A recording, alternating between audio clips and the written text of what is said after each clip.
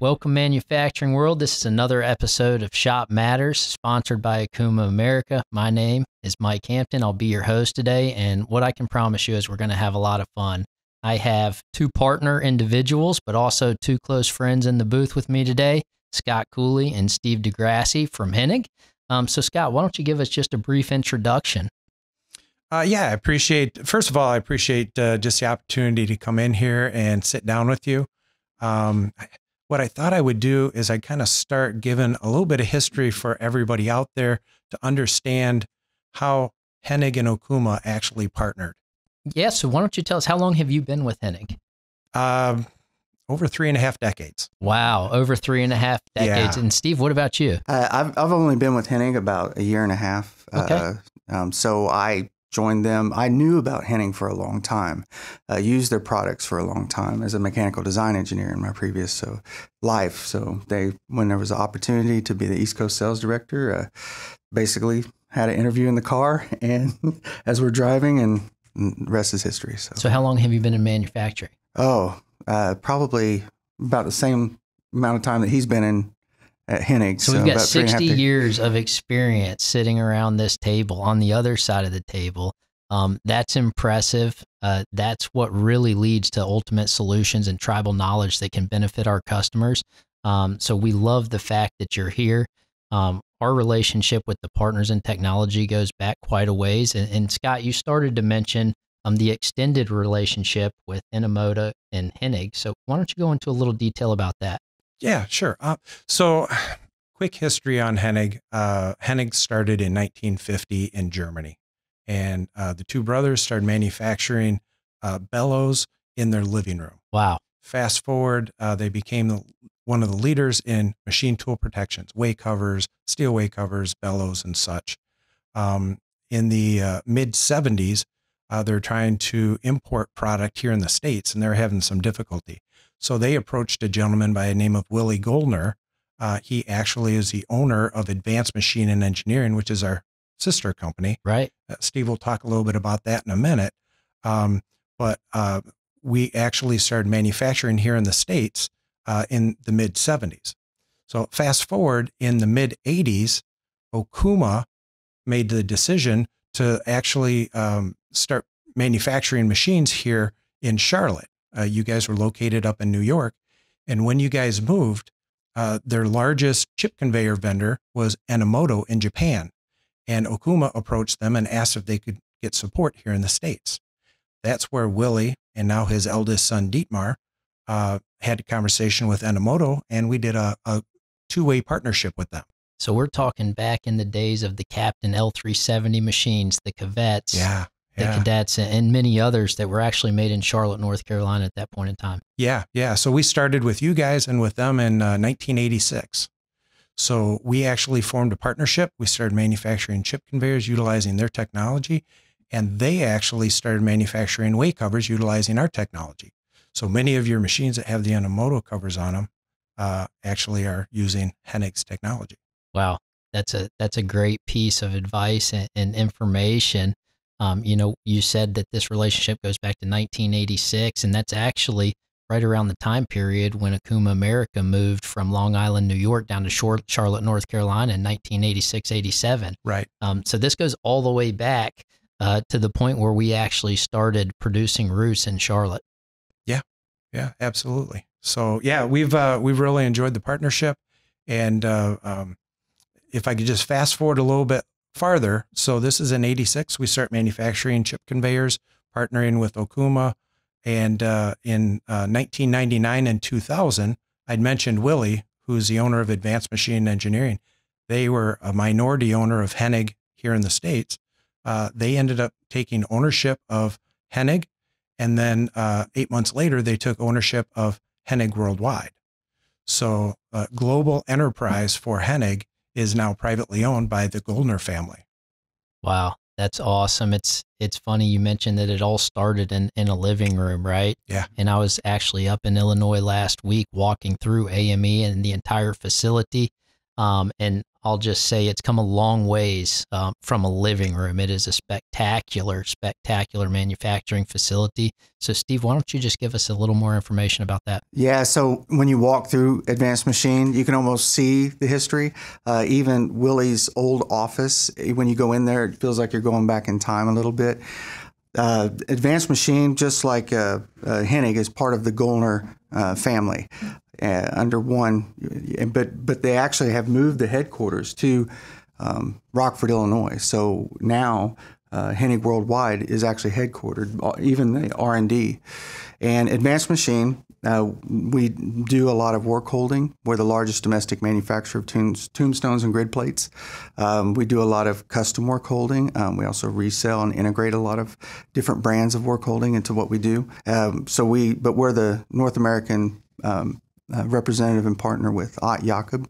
Uh, so we do drawbars and gripper sets, pulling heads, uh, rotary unions. And then we also have a fluid power division that does a lot of like um, rod clamping um, mechanisms and Spieth couplings. We're a licensed partner with Spieth.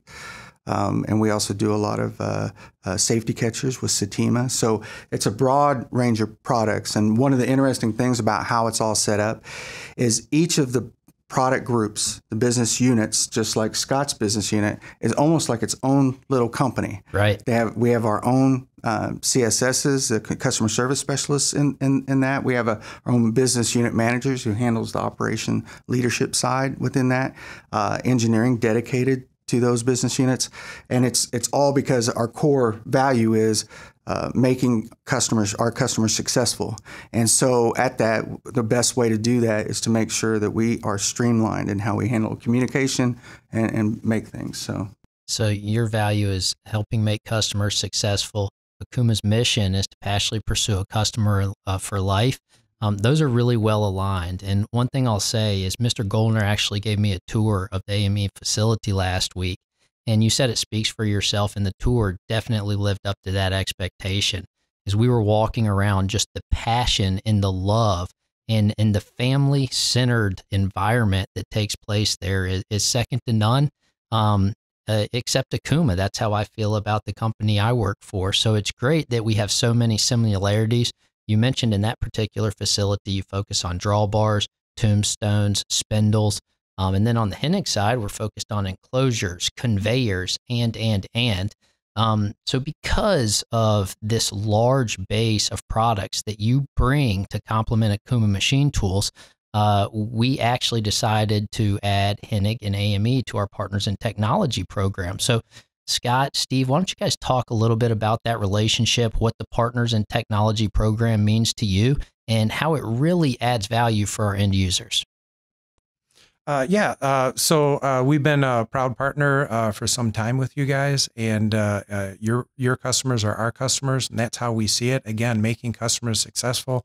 It's not only making you successful, but our customers as well. And having this partnership has gone a long way to help support that. Um, when we first started in Partners in Technology, um, we had talked about uh, us manufacturing chip conveyors, and quite honestly, Okuma said, we appreciate that, but we already have a couple of companies out there that manufacture conveyors. What else can you offer? Right. And then, as Steve just pointed out, Advanced Machine and everything that they that they offer, um, with us also manufacturing way covers. And then I really think what sealed the deal is when we, uh, I think Okuma had an epiphany that we actually manufacture enclosures and roof protect systems. And that was an area that I think uh, Okuma was really trying to find someone to partner with. Yes. So the the the neat thing about being partners in technologies is not every company is like Okuma in the sense that they don't necessarily focus on technology as much, you know, that that because that's where it's all heading. And so you know, enclosures and roof protect is one of those areas where we, we've grown a lot. And uh, a lot of people, when they think of Okuma, they think they don't necessarily know that Okuma makes other things than this typical machining center. And so, like the MCR series, for example, the double column, uh, large envelope machining, um, a lot of times you're cutting uh, materials that you actually have to keep control of. You can't just let them go out into the shop in airborne fashion. And so we actually have enclosure systems where we have a retractable uh, roof bellow and sometimes with automatic detaching and movement. And so it's that push towards technology um, that kind of helps us serve Okuma uh, in that particular product arena. And because we do uh, custom chip conveyors every single day and we do them pretty fast, we we uh, a lot of times we'll integrate special conveyor systems into the enclosure systems because not every application is the same. Right. And so we try to listen to the customer uh, and sometimes even watch what the customer does without them saying anything um, and try to make a solution that matches their need um, to eliminate, you know, to eliminate issues. Yeah. So what you just described is really a, it's a next level of customer care, right? You're you're listening to the customer, you're looking at their process, you're thinking about how to make their process more streamlined, more effective, more efficient, more profitable. Um, and behind the scenes, what it takes to do that is a superior engineering staff. So, you know, one thing I've noticed about Hennig's products, whether it's a double column machining center and a, a specialized enclosure or a retractable roof, um, they're it's not a one size fits all, and it takes a lot of resources to to support that effort. Can can you just briefly describe what kind of engineering resources that Hennig and AME have and why that sets you apart from your competitors? Yeah, so one of the things we have is what we call our QROC, which is our quick response office cell. And in, inside that office cell, we actually have all the engineering and all the customer service and all that co-located so that communication is part of the daily routine. And we have engineering leadership that has a lot of experience and our business unit manager don kaler uh, has been around the block a thousand times. Like he knows he even ha- uh, worked in the shop for years and years. So he's he's and, he, and so we have a great team with great leadership and he's right there with him. He has like a standing desk that he just like is right there with them all the time. And so we also have our uh, research and development, um, kind of also where we do special potential new products um, that's separate from our uh, quick response team.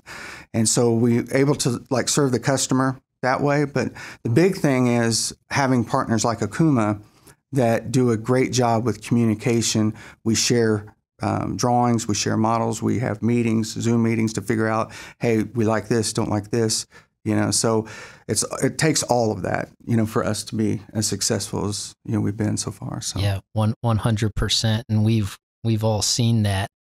And uh, you know at Okuma we say as one so in the customer's eyes we want to be viewed as one. We make the machine tool you guys make excellent auxiliary and accessories and uh, but when they have a problem they want uh, we want our customer to know that as one we're going to find a solution and that's what our partnership provides. And we're lucky to have customers um, that that really see the value in that partnership between Hennig, AME, and, and Okuma.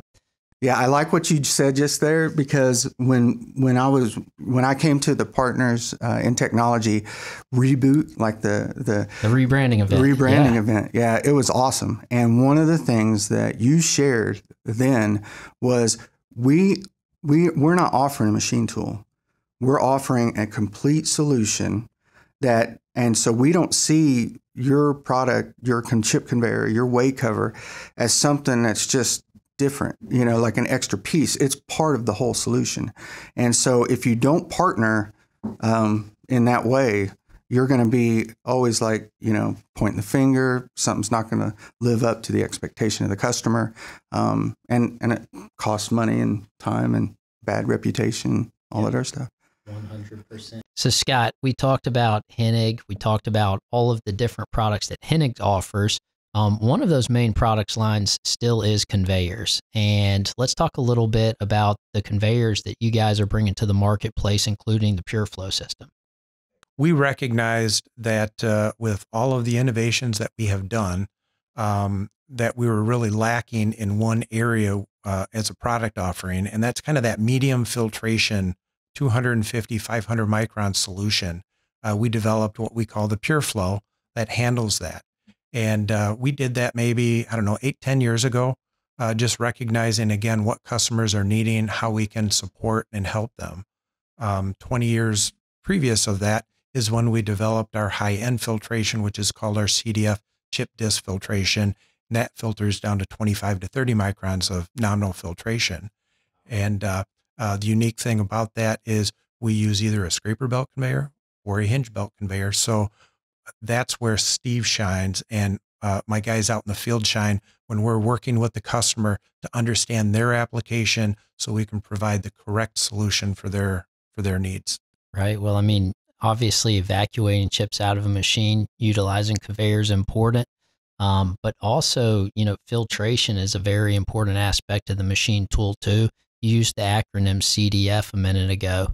Uh, can you further describe what that acronym is and what it means and, and how Hennig is using that um, to assist our customers? Absolutely. So CDF is chip disk filtration. Um, it's a different type of filtration from what everybody else has. Everybody has a drum that's on the inside of their conveyor.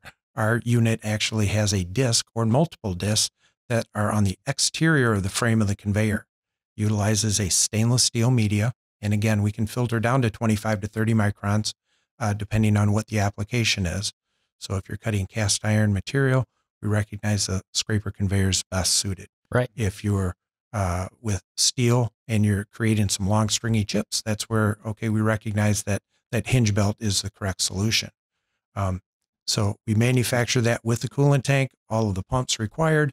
And then if you need further, um, uh, like high pressure systems, that's where we can actually assist as well, either on the uh, on the tank itself, whether it's bag filter or cyclonic. That's something that we can do, get down to that five to 10 microns so you can have that through spindle work. Or our newest technology is uh, we are actually now uh, providing high end standalone systems. Oh, that's that's really interesting. Uh, so you know these these systems are becoming more popular, more popular, and more popular. Um, definitely with automation and everything else involved with how manufacturing is changing. Um, so, can you give us a little more details about this system? Yeah. So, one thing I would say, uh, in line with what you're saying about automation, is the chip disk filtration system is a pre-filtration that is integrated into the conveyor where uh, it's self cleaning back onto the conveyor itself. And so it's getting out all that all those chips and fines that are bigger than 35 micron right. without anyone having to deal with a bag, anyone having to deal with a cartridge filter, anyone having to deal with some kind of strainer. And so what it does is it it, it helps all the uh, post CDF filtration last longer, be more effective, and everything else. And so it fits that sort of industry 4.0 along with like how we drive the system, and that is our variable frequency drive, uh, VFD not only can you communicate with it, but it has the ability to um, set different parameters for speed or um, you know uh, uh, torque limits and that sort of thing, so it can save itself. And it has a feature that's built in, so that whenever it, a jam happens, uh, it actually senses that sudden increase in torque that's beyond capacity, and it tries to back up clear itself and then come forward again. Does it three times and then says, you got a problem. And so it saves the customer from like breaking his own conveyor accidentally. Right. And and this you wouldn't believe how often that feature comes in handy. I have a big customer that has uh, a the casting, and they are just going all out. They're just going all out all the time, and every so often they drop a casting right down, you know, the robot is flowing, throwing stuff around and it drops the casting right down the conveyor. And so when I went and looked and they had all these conveyors with broken flights that were flapping in the wind, I don't even know how it got anything out. Uh, but when they replaced it with our VFD technology, um, they've standardized on that now for any conveyor going forward because it is, it's, it's a lifesaver. So it sounds like it. It sounds like this functionality is going to do a number of things. But one, it's going to keep your conveyor in tip top shape so that it doesn't get damaged. Two, it's going to ensure that your conveyor doesn't go down and make your process um, have a red light or be stopped. And then three, uh, it's going to help make sure that you don't have downtime on that machine tool, right? So, um, all great things that customers are seeking after if if an end user or the audience wants to learn more about that technology or that functionality, where can they find that? It's just if you go to hennigworldwide.com, um, and and and you, you, or you can do a Google search and just type uh, CDF or VFD Hennig H E N N I G. Uh, it's the first thing that'll pop up, awesome. and so you'll be able to go go right to it and and learn more. Yeah, that's great news. So you guys have been a valued partner um, for a number of years. Um, we're constantly evolving, constantly improving. What's next for Hennig? I mean, what what else is on the horizons? We've seen so many changes between Hennig and AME um, to keep up and always stay on that competitive edge. Uh, what should we look forward to in the future that you can share? Mm-hmm. I know mm-hmm. you're looking at a number of things, Scott. Yeah, you yeah. always are. there, there are a number of things that we are certainly looking at. Uh, again, as I just mentioned, uh, the, the standalone high pressure systems is something that we're really engaged with right now. Uh, Steve had mentioned our R and D uh, team uh, that's at Hennig, and uh, we're just going a thousand miles an hour right now, developing many different things. The standalone units are what we're doing right now, and then we also are talking about automating in such a way as to help customers recognize where systems are at with different modes. And uh, there'll be more to come regarding that soon. Wow, that's great news. Uh, we love to hear that our partner companies are always thriving. Uh, you guys shared a lot of great information today. We talked about conveyors. Um, we talked about enclosures. We talked about retractable roofs. We talked about some of the capabilities at AME um, the sister company of Hennig. Uh, so I hope our audience enjoyed this episode. I ho- hope you learned something, or at least now you know wh- where to go to research it. Um, so this is another episode of Shop Matters. My name's Mike Hampton. We have Steve DeGrasse and Scott Cooley here from Hennig. Thank you guys for coming. Thanks a lot, Mike. No, thank you. Greatly appreciate and, it. And shop does matter. It does right, matter. It says right here on, on the mug.